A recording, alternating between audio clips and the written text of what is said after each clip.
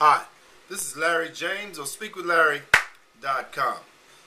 Excuse me. The question I have for you today is how do you respond when you fail at something? How does that make you feel? How difficult is it for you to come back and do it again? Because that's something you have to look at when you're talking about becoming successful. The majority of successful people have failed over and over and over. So, what do you do? You get back up and keep trying because you're not the first and you won't be the last.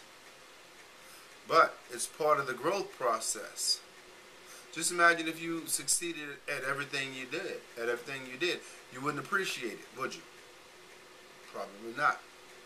It's like being given everything you want. You don't appreciate the giver. So, develop a thick skin for failing because it's part of success. Don't look at it as a bad thing. Look at it as a growth process. SpeakWithLarry.com.